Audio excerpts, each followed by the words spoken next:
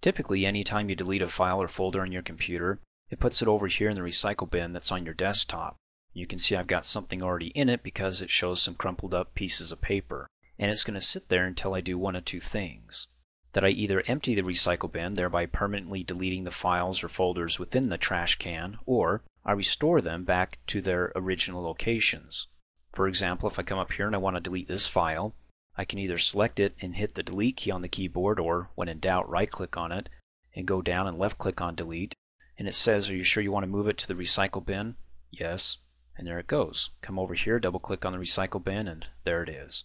Now again, one of the two things I can do here is I can either restore this back to its original location or just click and drag it to the desktop. But to restore it back to its original location, you can go ahead and select it, and then up on the command bar it says restore this item. When you hover over it, it says it'll put this file back in its original location, or when in doubt you can right click on it and still do a restore. Of course, if I click off in a blank area, it now gives me all items. I can restore all items that are within the trash can here. I'll just go ahead and restore the promotions, right click on it, left click on restore, close out and it's back in its original location, the exercises folder.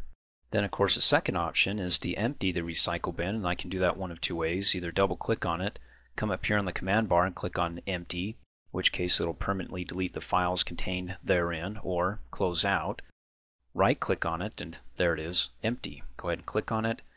Are you sure you want to permanently delete the files in the recycle bin? Yes. It goes nowhere else, but it's permanently deleted. And you can see the trash can is now clean. No crumpled up pieces of paper within it, so there's nothing in there. Double click, nothing. Now I said typically that when you delete something on your computer, it goes to the recycle bin, but you can bypass the recycle bin and have it permanently deleted. And to do that, all you have to do is select the file, hold down the shift key on your keyboard, and tap the delete key, and it will say, are you sure you want to permanently delete this file? And thereby bypassing the recycle bin or the holding tank. Because again, anything that goes inside this recycle bin will hold it forever until you do the two things that I just talked about. I'm going to go ahead and say no. Now if you want to be able to give your computer away to somebody else and you said, well, I permanently deleted all my files on my computer because it says so, don't trust it. I'm going to go over that in the next training video and show you how you can properly clean up your computer so the sensitive information will be completely wiped away from it and that way you can feel more confident when you do give away your computer or sell it off to somebody else.